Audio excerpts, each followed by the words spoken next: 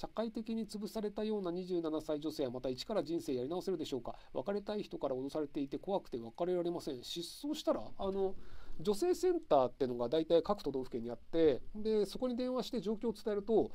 その日から止めてくれます。あの男性にはないんですけど女性の場合その DV 受けてる人とかを助けるための施設っていうのがあってでそこにあの1週間2週間止めてくれてでその知り合いからあのじゃあまあ仮に佐藤さんだとしてここに佐藤さん来てませんか？っていう時にいやその人いないですよって嘘をついてくれるんですよ。っていう仕組みがあるのでなのであのシェルターっていうので民間がやってるところもあればそのあの地方自治体がやってるのもあるのでなのでちょっと役所のホームページとか見てもらえれば分かると思います。でそこに1回逃げてで住所をそこにしたままあの就職できるんですよ。